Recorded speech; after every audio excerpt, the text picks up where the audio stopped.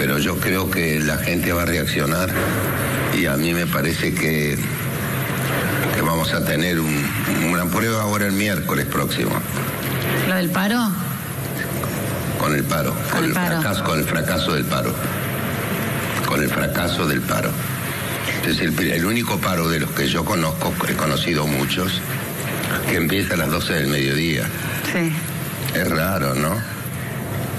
Y después de cuatro años que no hicieron ningún paro porque las cosas andaban maravillosamente bien en la Argentina. Sí, eso es insólito. ¿No?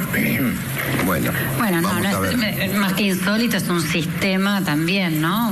Una, forma también de, hacer política también. Los, cosa? los, paros es una forma de manifestarse políticamente. No, no, no, los paros tienen un solo, un solo propósito, es estar en contra del gobierno, de manifestarse en contra del gobierno.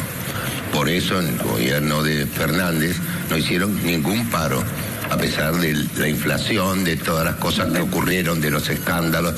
No, porque tienen una camiseta puesta y esto no es democrático. ¿Una camiseta o una caja? Una camiseta, por esto, que, te, te, te implicar otra cosa, desde luego que sí.